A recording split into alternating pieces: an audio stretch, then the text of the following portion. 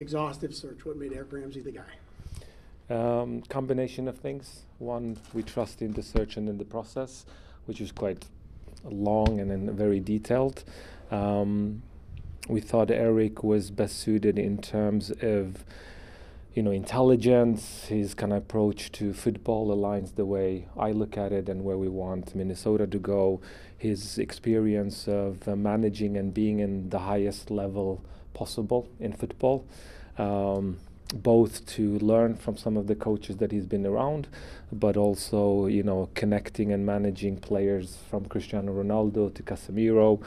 Um, the fact that he speaks uh, several languages is it was quite important for us as well because we see ourselves as a you know as a global club. It's a global sport. Um, his personal values very well connected and you know kind of we synced of how we want to cooperate um, you know, it's overall just very impressive. How much of a win is this for the organization? A lot of people wanted this job, but he's obviously a rising star. We've seen the milestones, the fastest to get the certification. How much of a win is this for you to get him to come over? Uh, I think. Um, win. Uh, I think we're all happy that it's Eric, but again, I go back to the process. There are some other very good candidates. Um, and ultimately it fell on him. We're really excited. I think it shows the strength of Minnesota United. It shows the strength of MLS that we're getting these, you know, up and coming, um, you know, whether it's players or uh, coaches. So we're excited. Do you look at the, the challenge of him? Obviously, he's young. This is a new league, a new opportunity. Doesn't have a lot of head coaching experience at a first team level. What are the, the challenges with, with his hire? Uh, I think it's all potential. I don't see it as a challenge. I think it's a great opportunity for him to, you know, put put in place all the things that he's experienced and learned. Uh, and it's also not just Eric. Like his great support staff, whether it's you know uh, me, Cam, uh, all the people around. You know, again, I said it from our first meeting. This is a collaborative effort, uh, and Eric is just a good addition to this. How big was the net that did you cast? like how many candidates were you looking at initially, and then how did you narrow it? Um, how many did you narrow it down to? Yeah, I mean, so it's, it's open. I mean, anyone could have applied, even you, uh, if you wanted to. Um, but ultimately, after the kind of first re-rank, we had a little bit more than 100 from all over the world. Um, assistants, high-level coaches, etc. We then, you know, used uh, two the different data metrics. Um, we try to re-rank them in terms of style of play, uh, various KPIs that, that we want to you know use. Um, then there's you know I called a lot of them. Some of them weren't available. Some couldn't come. Some were too expensive, and it just kind of is a combination of things that ultimately then just narrows it all down to uh, the one that we have, and we're really happy having Eric Ramsay join us. How much can you tell how excited he is when you speak with him and the, the opportunity that he has in front of him? How excited is he to coach this club? Yeah, very. I, I met him in England. Um, I think it was a week ago or something. Uh, we had dinner. Is is he's really excited um, about both you know the actual league, but also Minnesota, the club. You know, I told him that uh, after interviewing every staff member and player, I know all 55 le- restaurants he can go to. Mm-hmm. Um, so no, he's he's really excited.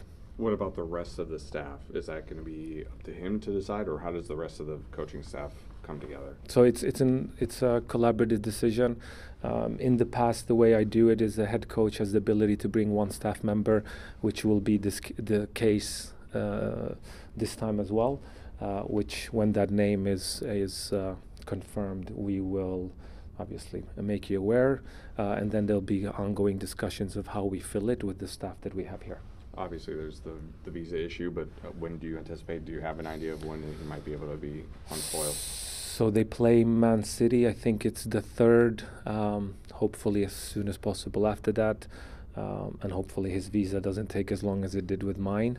Um, but look, we're in good hands. Whether it takes two, three, four, five weeks, have full trust in both my eh, our players and and the staff that are here today. So I said it from the beginning. It's a it's a process. Uh, everyone is on board, so we're quite calm. How would you articulate your vision for the club and, and how you plan to implement it? Oof, that's a spot on question right now. um, to try to summarize and make it simple, uh, I want us to be brave. Uh, I want us to show a bit of belief in what we're doing. And yes, we will adapt pending who we play or where we play, but there, people should know this is Minnesota United. I think the, f- you know, maybe the whole game of against Austin specifically first half kind of gives you a little bit of, of what I'm looking for. But ultimately, I think alignment from top to bottom, from owners all the way to academy. I think if you would walk in, I just tore, tore down a wall that was in separating academy to the first team. That one is gone, um, and collab and a collaborative environment. Mhm. So to make it simple. How have you seen uh, Cam sort of embrace the interim role with these guys, and do you see a scenario where he stays on once Eric gets settled in? Uh, yeah, Cam is. Uh, uh, that discussion is to be had with him. I think he's been uh, great in embracing this role. In the beginning, you know, before preseason, we're talking. It's almost like a academy player gets a chance because the main striker got injured, and he's taking the opportunity and done a good job in, uh, um, you know, in a situation that is, from one perspective, uncertain from others full of potential. It depends on how you look at it, and he chose the potential path. Uh, Why is- and- Why is a pressing style your preferred way of playing? uh, it's not necessarily my preferred generally. It's when I go into clubs, I look at it. Each club has a kind of its, its own own organism, right? So I look at the geographic location. I look the fact that we're four seasons. I look at our fans. I we spoke about like the history of Minnesota. You have a Iron State, um, and I think I also analyze the players that we had. Um, there's also quite a lot of data when you look of sustainable success. There's certain metrics. Um, it's also the opportunity or type of players that we can attract to where we are. So it kind of tends to be more of a, you know, Liverpool slash Spurs uh, way of playing versus uh, a Man City. I'm sure you had a chance to watch the game on Saturday. How did you feel the way the team played and, and the performance that you saw Saturday night? Um, excited. I think you know you mentioned two good players not being part of it, and the team showed it's about the team. It's not about one single player. Um, I always tell everyone if someone's injured, we just mentioned kind of Cam's uh, ability to step up. You had young players stepping up. Uh, I thought Sang Bing was great. Um, Fragapane, you know, players maybe last year didn't really play much. Um, you know, it's, it's, it's exciting. It's exciting to see. From the subs the other night and from, from Eric, you- you believe in youth? Um, I believe in quality. Um, and yeah, I do want to play younger, but sometimes you do, sometimes you don't. There will be, a, a, I would say, a better balance of, I guess if you want to call it youth, but for me, it's quality. I don't take uh, Luik as an example. Whether he's 19, 20, or 24 doesn't really matter. As long as they're good enough, they'll be in and around uh, the club. And age played no part with, uh, with, with Eric in terms of being too young?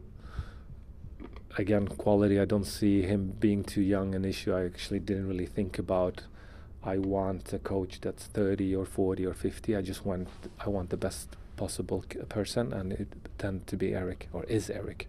Last week, I heard a lot of players and coaches using the words together and transparency. We're going to defend together, we're going to go forward together.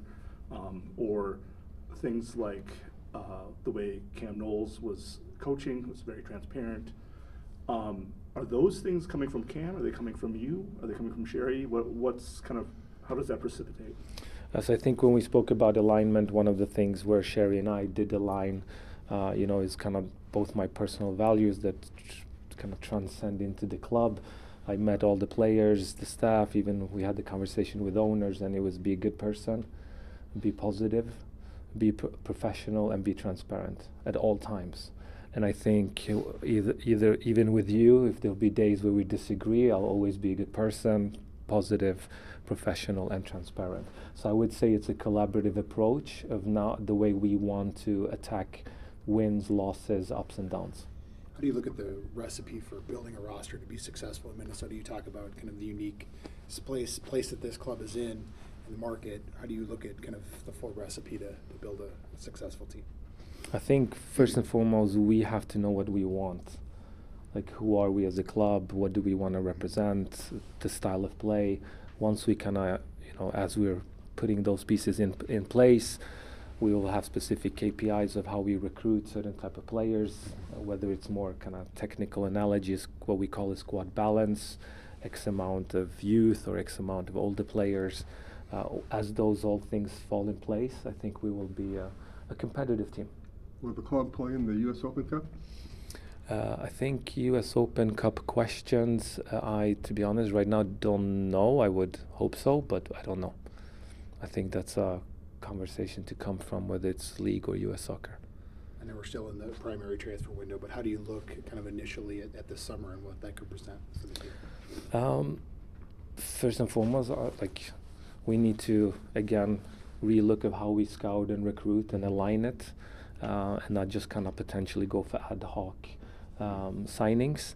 Uh, but I, I, think we're all really focused on the players that we have. I mean, you mentioned two players that are of quality that hasn't even played. You haven't played Arriaga. Pukki just came. Uh, you know, you'll see uh, Bran. You got Harvey. Uh, we have a, a, good, strong squad, and I think once Eric comes and everything kind of settles a little bit more in and around the first team, um, we'll assess and, and tackle the summer when it comes. I saw on Tuesday Kedro Manchin and Fred Emmings and at least one other Minnesota United two player in training. Will we be seeing more uh, of the two players joining the senior team in, in training? Yeah, so um, as you hear me speak, I don't see a player being an academy or MNSC two. For me, they're all Minnesota players. If you're good enough, you'll be in and around the first team. And whether you're 16, 15, I, it really makes no difference to me. Uh, so if Amos would come and say, "Hey, here's a 16-year-old. He's ready to get the opportunity," he gets the opportunity to to train. Because you'll never really know until you give them that opportunity. Time for a couple more. What have you What have you learned on the job since you've been here that you maybe were surprised or taken by that you maybe didn't expect once your feet were on the ground here? How good the media is in Minnesota. oh, okay. and how good the weather is in the winter. Yeah. Very lucky. It's, it's, a different global warming conversation. Yeah, yeah, uh, no surprises. Mm. I think what I've experienced um, has prepared me well. Um, I was gonna say good people. That's not a surprise. I think it resonated how Shari is and the ownership group, and I'm just really excited. Are there other members of the um, kind of technical team? Is Hank staying on? Is there any other additions kind of on the sporting side? Uh, it's an honor, just like with players. Happy with the staff that I have. Um, so my colleagues, and then we look. You know, if we need to make improvements or additions or growth we will. You know, I do think I do see us uh, growing in the video analysis department uh, on the data side. Um, just had a great conversation with our nutritionist today. So there's a lot of things that need to be um, kind of bring together and align so we can move forward. What's the favorite of those 55 restaurants? I've only tried two, and so the I told you about the restaurant. They come from players and staff. I asked them, "Give me your favorite restaurant." Um, I was surprised how many players said Olive Garden. oh, I, I, thought they shut Olive Garden down since I went to college. Um,